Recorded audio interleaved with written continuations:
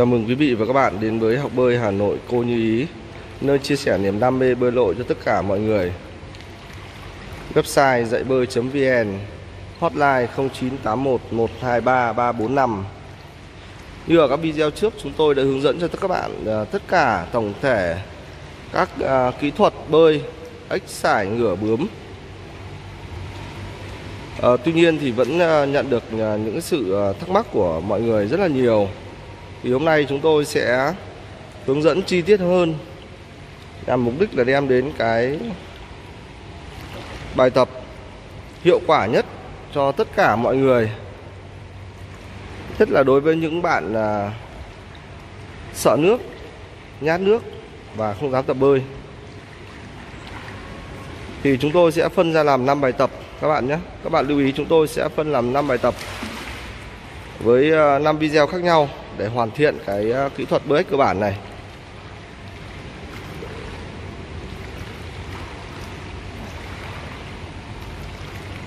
Các bạn nhìn tổng quan lại kỹ thuật bơi cơ bản này nhé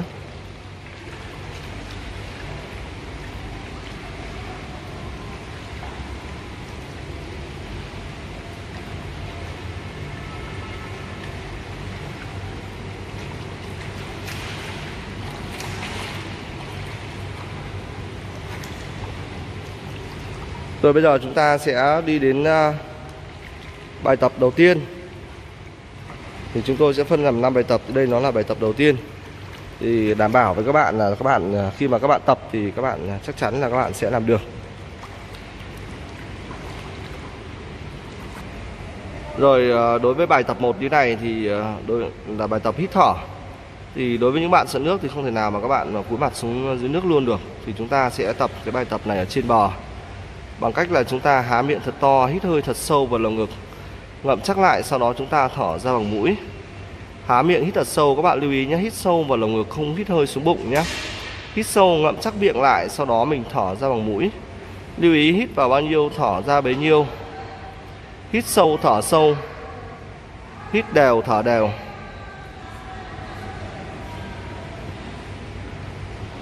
Thì các bạn mà sợ nước thì ờ, lưu ý một chút là khi chúng ta phải tập quen ở trên bờ trước nhá.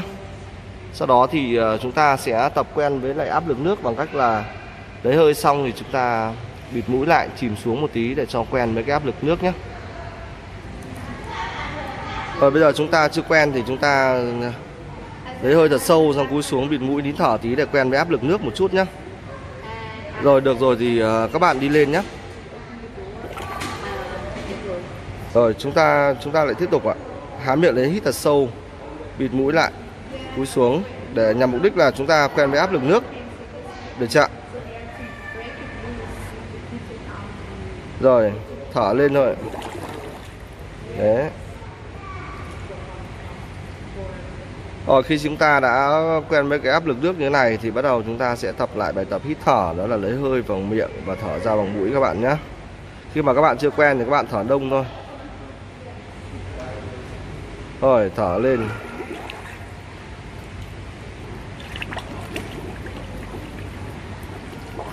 Rồi các bạn lưu ý bài tập này chúng ta lấy hơi bằng miệng và thở ra bằng mũi và thở ra đều đặn từ từ nhá. Các bạn nhớ này, mũi chạm nước là mình bắt đầu thở và kết thúc thở khi mũi của mình lên khỏi mặt nước. Có nghĩa là trong cái quá trình mà các mũi của các bạn ở dưới nước là các bạn liên tục thở và thở đều không ngắt quãng các bạn nhé.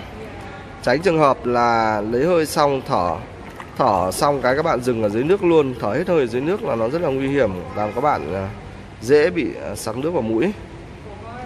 Hít sâu, thở sâu nhá các bạn lưu ý hít vào bao nhiêu, thở ra bấy nhiêu. Hít. Thở. Đấy. Hít. Thở. Hít. Thở. Ờ, cái bài tập này thì các bạn ờ, cố gắng làm nhiều lên cho mình nhé Tại vì ờ, quan điểm của mình rất là đơn giản thôi. Các bạn ờ, hít thở tốt là các bạn bơi tốt Mà các bạn hít thở chưa được thì đồng nghĩa với các bạn bơi chưa được. Các bạn nhiều làm dần và làm nhiều lên. Khi nào quen rồi thì bắt đầu chúng ta sẽ chuyển sang bài tập mới Đó là bài tập hít thở thì kỹ thuật ờ, nín thở rất là đơn giản thôi. Các bạn hít thật sâu nhá. Các bạn nhớ là cái lá phổi của mình như quả bóng ấy các bạn bơm đủ hơi và nổi và xì hơi cho nó chìm.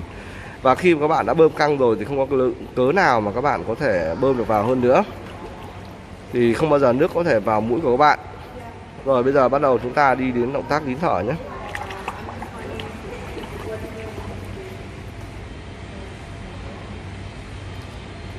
Rồi các bạn nhớ nhé, hít thật sâu. Cúi xuống nín thở không thở nữa. Các bạn nhớ hít thật sâu, hít thật căng thì không dần nước vào mũi của các bạn. Đấy, chúng ta tập đi tập lại nhiều lần nhé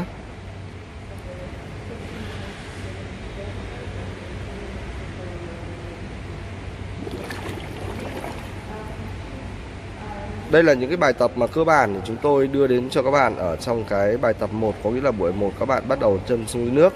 Các bạn lưu ý chúng tôi đi nhanh Nhưng mà những bài tập như này thì các bạn cố gắng làm sao mà quen hẳn thì các bạn mới chuyển hóa nhé.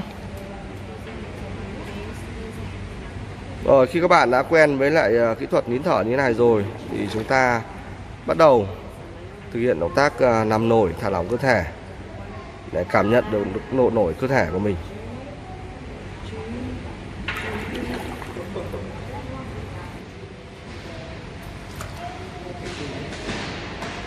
Rồi cái động tác nằm nổi như này thì nó khá là đơn giản thôi các bạn. Các bạn hít thật sâu nhá. À, Yêu cầu của mình đó là lấy hơi nín thở và hai mắt của các bạn nhìn vuông góc xuống dưới đáy bể. Chân tay duỗi thẳng nhé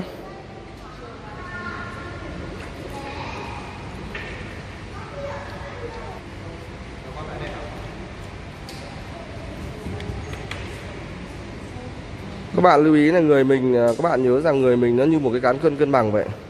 Ví dụ như là trọng tâm của mình là cái rốn đi. Người mình nó như một cán cân cân bằng thì khi mà các bạn cúi xuống chân tay duỗi thẳng người như thế này này thì lúc nào cơ thể của mình cũng nổi. Đối với những bạn sợ nước thì à, tất yếu là chúng ta phải bám vào cái cầu thang này rồi, để cho nó quen nhé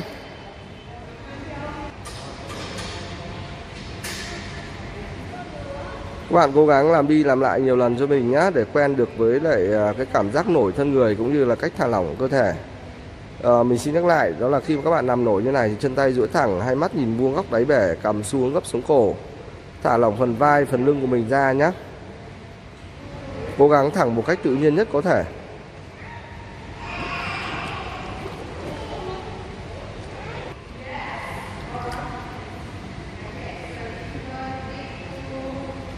Khi bạn đã quen dần với cảm giác nổi, để quen với cảm giác ờ, để các bạn tập tốt hơn, thì bây giờ chúng ta sẽ tập một cái động tác thu gối đứng lên để chúng ta có thể tự tập mà không cần phải bám cầu thang các bạn nhé. Thì cái động tác thu gối này khá là đơn giản thôi, các bạn thực hiện động tác ờ, các bạn cũng bám vào cầu thang như thế này.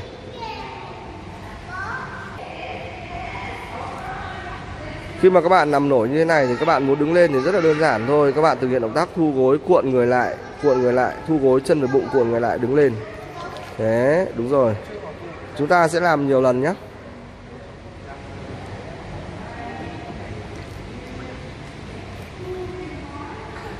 rồi, muốn đứng lên này, thu gối chân, cuộn gối chân về bụng, cuộn tròn người lại. Đó, cuộn tròn người lại.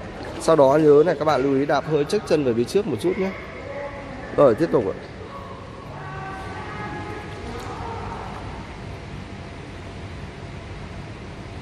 Rồi cuộn tròn người lại này, thu gối chân về bụng, sau đó đạp hơi trách nhẹ chân về phía trước để tạo cái tư thế buông góc với lại lại cái đáy bể. Rồi tiếp tục các bạn nhé.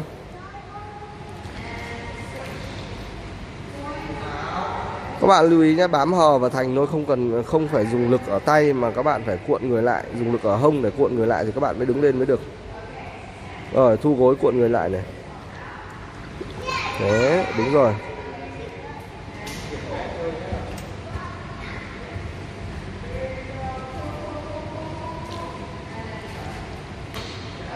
Rồi khi các bạn đã bám vào thành và quen với cảm giác thu gối chân về bụng Bây giờ chúng ta sẽ tự làm nhé.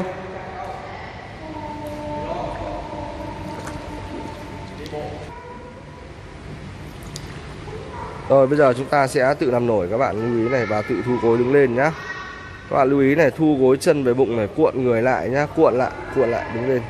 Đấy, đúng rồi rồi các bạn à, lưu ý là để cho nó tốt hơn thì các bạn à, khi mà các bạn có nhớ đến cái kỹ thuật đứng lên thì các bạn việc đầu tiên của các bạn mở tay ra nhé. Sau đó thu gối chân về bụng đứng lên. Rồi bắt đầu. Rồi các bạn mở tay ra này, thu gối chân về bụng, ấn tay xuống cái. thế ấn tay tự các bạn lưu ý ấn thoải mái tay về phía sau nhé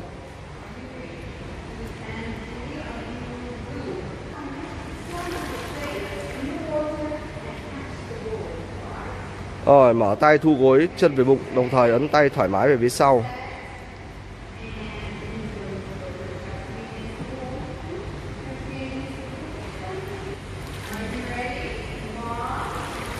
Rồi, các bạn làm động tác này nhiều lần để cho mình quen cái cảm giác nước ở chỗ nông nhá, Để cho chúng ta làm chủ được cơ thể hơn mình. Hơn khi ở chỗ nông thì chúng ta sẽ rất là thoải mái trong cái quá trình luyện tập của chúng ta.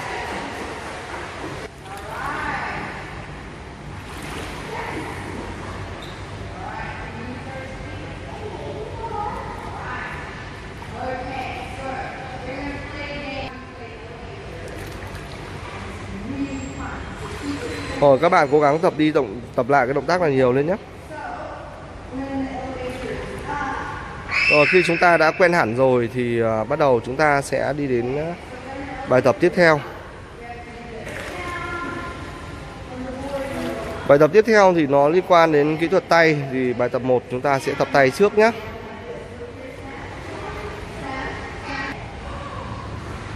Rồi bây giờ chúng ta nhìn tổng quan cái tay của mình trước thì các bạn lưu ý ở cái tay ờ, kỹ thuật ờ, tay ếch cơ bản này thì nó không cần phải dùng ờ, lực quá nhiều. Thì nếu mà bạn nào nhìn thấy con ếch các thứ rồi và các bạn biết rồi, hai cái đùi, có nghĩa là hai cái chi sau của nó rất là to và hai cái chi trước của nó rất là nhỏ. Vậy thì hai cái chi trước này đồng nghĩa với liên quan đến hai cái tay của mình. Có nghĩa là nó chỉ hỗ trợ để rẽ phương hướng và hỗ trợ cho mình lên thở tốt. Không cần phải dùng lực nhiều quá nhé tay của bơi cơ bản nó chỉ là những cái kỹ thuật chuyển động đều. Rồi bây giờ chúng ta sẽ đi đến từng giai đoạn của tay để cho các bạn à, nắm rõ hơn nhé. Rồi các bạn lưu ý đến giai đoạn đầu tiên của tay này Giai đoạn 1 tách tay lòng bàn tay hướng ra ngoài. Được chưa Giai đoạn tách tay lòng bàn tay hướng ra ngoài. Giai đoạn 2 này quạt rộng tới vai các bạn dừng Quạt rộng sâu xuống. Yêu cầu của mình đó là rộng và sâu.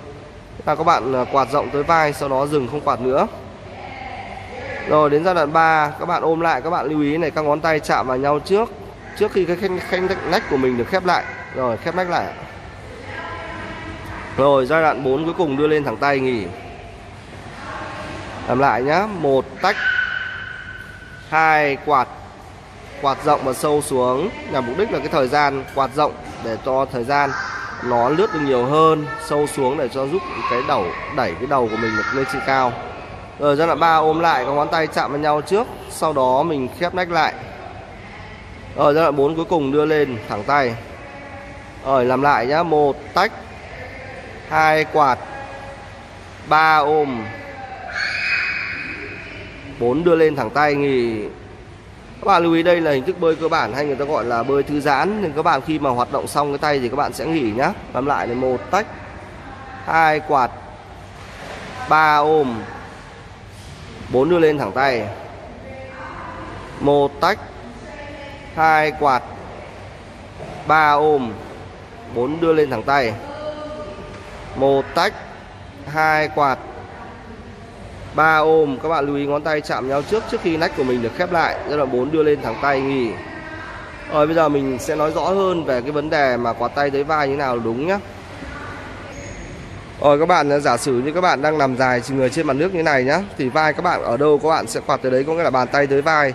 Rồi, giai đoạn 1 này, tách này. Hai, quạt rộng sâu xuống tới vai Vai các bạn ở đâu ạ? Dừng lại, có nghĩa là bàn tay tới vai các bạn nhé Đấy. Ở giai đoạn ba, ôm nước lại, ngón tay chạm với nhau, Sau đó khép nách lại. Bốn, đưa lên thẳng tay. Các bạn lưu ý nhé bàn tay tới vai nhé Tách tay này. Quạt, ôm vào, Tới vai. Rồi, đưa lên, thẳng tay nghỉ. Làm lại này, một tách. Hai quạt. Ba ôm. Bốn đưa lên, thẳng tay nghỉ. Một tách. Các bạn lưu ý là tay chỉ phát lực ra một lần khi mình kéo nước. Còn tất cả các giai đoạn khác mình thả lỏng ra. Đó là một tách, thoải mái này. Giai đoạn hai dùng lực kéo nước này.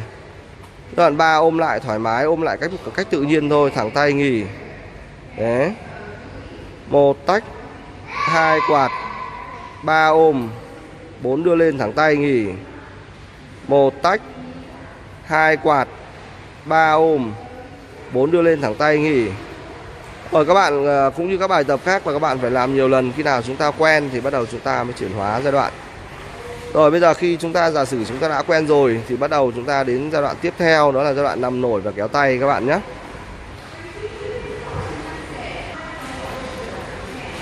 Rồi bây giờ các bạn nằm nổi sau đó thì các bạn kéo tay nhá. Tách này, quạt, ôm vào, đưa lên thẳng tay nghỉ. Tách, quạt, ôm vào, đưa lên thẳng tay nghỉ. Tách, quạt, ôm vào, đưa lên thẳng tay nghỉ. Thôi. Đấy. Rồi tiếp tục.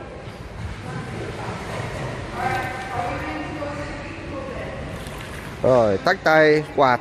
Các bạn lưu ý quạt tới vai nhá. Tách, quạt, ôm vào đưa lên thẳng tay nghỉ. Tách quạt ôm vào đưa lên thẳng tay nghỉ. Thôi.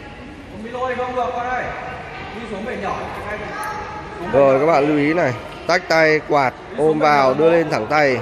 Tách quạt ôm vào đưa lên thẳng tay. Tách quạt ôm vào đưa lên thẳng tay. Rồi nghỉ. Đấy. rồi tiếp tục các bạn lưu ý nhé, trong quá trình kéo tay như thế này thì ờ, một số, đối với một số cơ địa, nhất là cơ địa về của thiên về đàn ông, thì là cái tại cái khi mà kéo tay thì cái chân của mình nó hơi bị chìm, mà chìm rất là sâu. Thì nói chung thì nó không ảnh hưởng gì đến cái vấn đề mà mình bơi được hay không, các bạn lưu ý nhé, và nó không phải là sai. Nhiệm vụ của chúng ta là chỉ thẳng so với thân người của mình là được. Chân các bạn chìm hay không thì nó không quan trọng, các bạn chỉ giữ thẳng thân người cho mình nhé.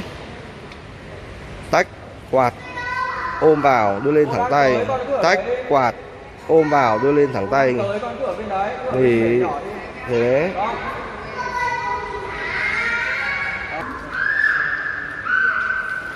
Rồi, tách tay, quạt, ôm vào, đưa lên thẳng tay. Tách tay, quạt, ôm vào, đưa lên thẳng tay. Tách tay, quạt, ôm vào, đưa lên thẳng tay.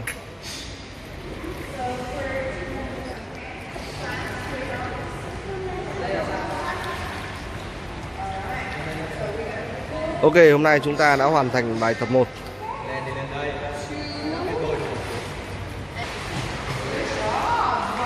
ờ, Chúng tôi xin nhắc lại bài tập 1 Đó là bài tập hít thở và bài tập ờ, tập tay đơn. Thì các bạn cố gắng hoàn thành cái bài tập này cho ờ, chúng tôi trước khi các bạn xem clip thứ hai nhé. Thì cái bài tập này thì mỗi buổi ờ, chúng ta tập dao động từ khoảng nửa tiếng cho đến một tiếng là được.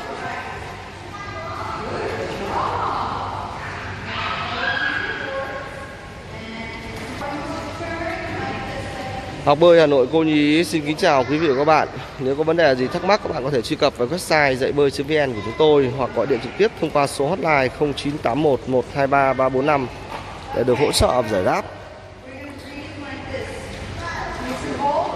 Ngày hôm sau chúng tôi sẽ đưa đến cho các bạn bài tập số 2 các bạn nhé. Các bạn à, cố gắng theo dõi và đón xem.